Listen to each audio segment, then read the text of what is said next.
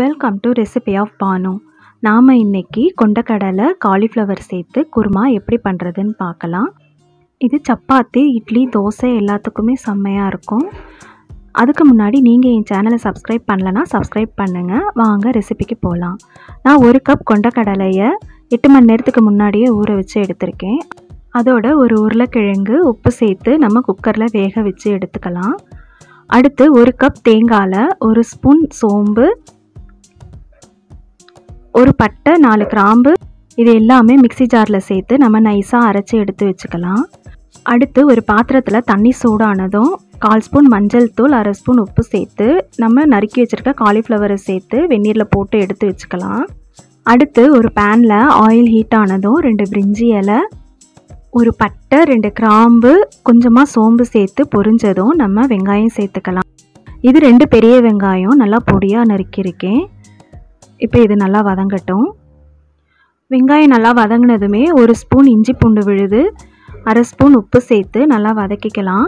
இஞ்சி பூண்டு வாசனை போகிற அளவுக்கு நல்லா வதக்கி விட்டுட்டு அடுத்து கால் ஸ்பூன் மஞ்சள் தூள் ஒரு மூணு ஸ்பூன் மிளகாய் தூள் சேர்த்து நல்லா மிக்ஸ் பண்ணி விட்டுடலாம் இது மிளகா மல்லி ரெண்டும் சேர்த்து அரைச்ச குழம்பு தூள். நல்லா வதங்கினதுமே ஒரு கப் தக்காளி சேர்த்துக்கலாம். இது ஒரே ஒரு பெரிய தக்காளி. அடுத்து ஒரு பச்சை மிளகா நாலாக நறுக்கி சேர்த்துருக்கேன். இப்போ தக்காளி வேகிறதுக்காக மூடி போட்டு எடுத்துக்கலாம். ஒரு ரெண்டு நிமிஷம் இருக்கட்டும். இப்போ பாருங்கள் தக்காளி நல்லா வெந்துருச்சு. இப்போ நம்ம ரெடி பண்ணி வச்சுருக்க காலிஃப்ளவரை இதில் சேர்த்துக்கலாம்.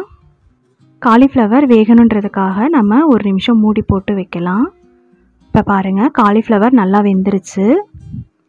இப்போ நம்ம வேக வச்சு வச்சுருக்க கொண்டக்கடலை உருளைக்கிழங்கை இதில் சேர்த்துடலாம்.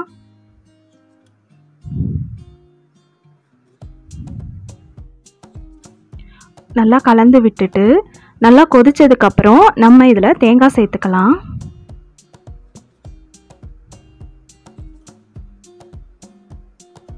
இப்போ பாருங்கள் நல்லா கொதிச்சிருச்சு. இப்போ நம்ம அரைச்சி வச்சுருக்கிற தேங்காய் இதில் சேர்த்துக்கலாம்.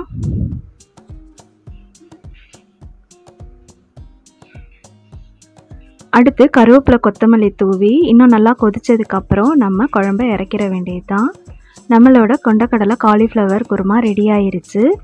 சூப்பராக இருக்கும். நீங்களும் ட்ரை பண்ணுங்கள் அப்படியே இந்த ரெசிபி பிடிச்சிருந்தா ரெசிபி ஆஃப் பானுக்கு சப்ஸ்கிரைப் பண்ணுங்கள் தேங்க்யூ